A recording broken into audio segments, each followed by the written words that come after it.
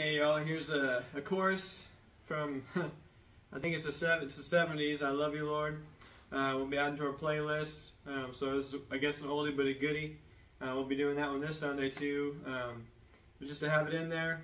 It's a simple song, but a powerful song at the same time, so we're just going to worship, uh, worship with this together.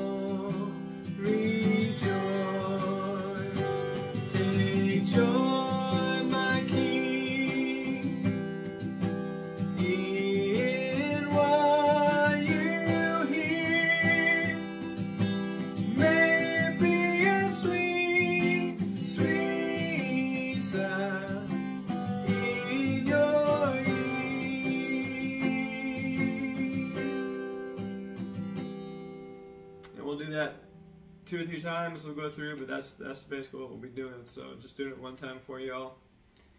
And look forward to seeing you.